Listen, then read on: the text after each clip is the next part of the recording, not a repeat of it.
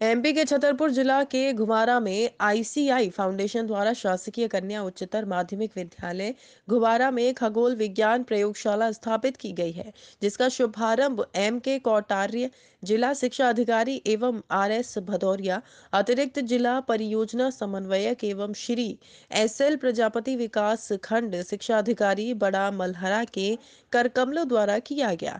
इस अवसर पर तीनों अधिकारियों द्वारा फीता काटकर खगोल विज्ञान प्रयोगशाला का उद्घाटन किया गया। ये विद्यालय इस क्षेत्र का इकलौता विद्यालय है, जहाँ प्रयोगशाला स्थापित की गई है। इसकी स्थापना से इस क्षेत्र के बच्चे अंतरिक्ष की जानकारी से परिचित होंगे, जैसे आसमान नीला क्यों है, दिन में तारे क्यों नहीं दिखाई देते। मनुष्य का शरीर किन तत्वों से मिलकर बना हुआ है?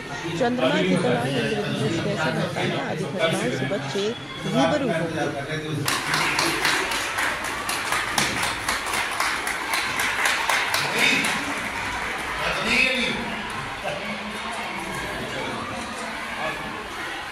रूम छोटा हो गया भाई। रूम छोटा हो गया। छोड़ा बोला वहाँ का रूम बढ़िया है। इससे बड़ा तो ईसा नगर का है। बड़ा कम, रूम कम, क्यों? है? कमरों की तो समस्या है सर अपनी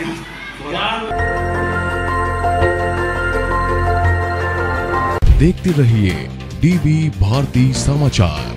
नज़र हर खबर पर।